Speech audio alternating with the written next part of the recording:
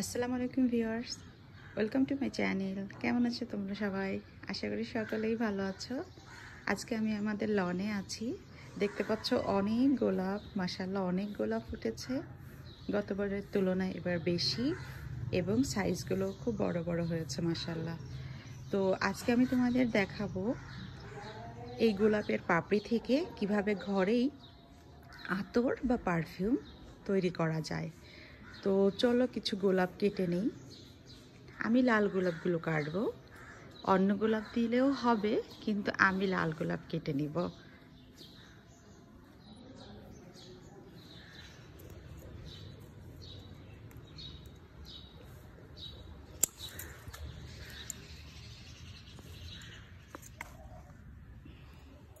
গোলাপ আমি কেটে নিয়েছি। এখন এগুলো পরিষ্কার করে ধুয়ে তারপরে নেক্সট প্রসেস করব।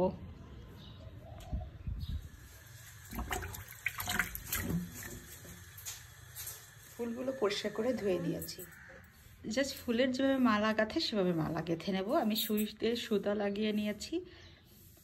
এর পরের প্রসেস আমি দেখিয়ে দিচ্ছি। প্রথমে মালাটা গেঁথে নেই।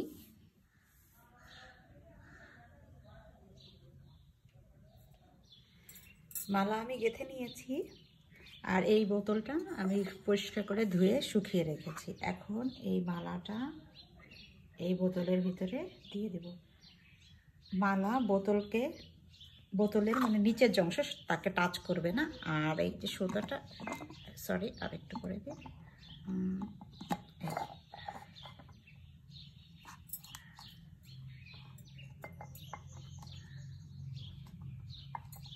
ওকে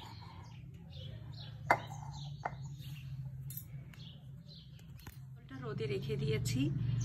আর দেখতে পাচ্ছ, ফুলের মালাটা বোতলের নিচের অংশকে টাচ করেনি। যত উঁচু করে দেওয়া যাবে ততটাই ভালো। এজন্য বোতলটা লম্বা হলে বেশি ভালো হয়। তো আমার কাছে ছিল না, এই জারটাই ছিল। এর চেয়ে বেশি বড় লম্বা বোতল নেই। বাড়িতে তোমাদের বড় লম্বা বোতল থাকলে তাতে করলে আরও বেশি ভালো হবে। মানে বেশি পরিমাণ আতর বা পারফিউমটা পাওয়া যাবে। আর এক বোতলে দুই তিনটা মালা দেওয়া যাবে না, একটা মালাই। তো দুই দিন রোদে শুকাবো দুই দিনের বেশি দুদিন হয়ে গিয়েছে এখন আমি জারটা বাইরে থেকে ক্লিয়ার দেখতে পাচ্ছ না ভিতরে অলরেডি আতর তৈরি হয়ে গিয়েছে। পাচ্ছ ভেতরে পানি ওটাই আতর। আমি খালি একটা আতরের শিশি নিয়ে নিয়েছি এ ধরনের শিশি বাজারেই কিনতে পাওয়া যায়। আর নিয়েছি একটা নোজেল যেটা কেক ডেকোরেশনের জন্য ইউজ হয়। তোমরা হয়তো ভাবছ আমি ডেকোরেশনের জন্য ইউজ করা নোজেল কেন নিয়েছি? তো আমি কেন নিয়েছি সেটাও দেখিয়ে দিব। এখন আমি এই জারের মুখটা খুবই সাবধানে খুলে নেব যাতে গোলাপের যে মালাটা আমি বানিয়েছিলাম সেটা নিচে যেটা যে আতরটা হয়েছে সে আতরের ভিতরে পড়ে না যায়। অনেক সাবধানতা অবলম্বন করে গোলাপের মালাটা আমি খুলেছি তারপরেও একটু লেগে গিয়েছে। যাই হোক নোজেলটা কেন নিয়েছিলাম এখন তো বুঝতে পারলে। এখন আমি এই জারের আতর এই ছোট শিশিতে ঢেলে দেব নোজেলের সাথে সাইডে একটু পড়ে গিয়েছে না হলে পুরো এক শিশিই হতো। তো আমি শিশিটা ভরে রেখেছি। এখন আতর ইউজ করার জন্য রেডি হয়ে গেল।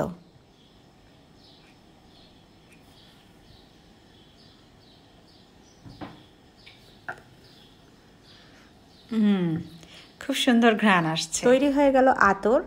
তো আশা করছি তোমাদের ভালো লেগেছে। আমার এই আইডিয়াটাও তো আমার আইডিয়া আমার রেসিপি এগুলো সব তোমাদের ভালো লাগলে তোমরা অবশ্যই আমার চ্যানেলকে সাবস্ক্রাইব করবে লাইক করবে, কোনো সাজেশন থাকলে সাজেশনও দেবে। তো ইনশাল্লাহ নেক্সট টাইম আবার আসব অন্য কোনো ভিডিও নিয়ে। সবাই ভালো থেকো, আল্লাহ হাফেজ।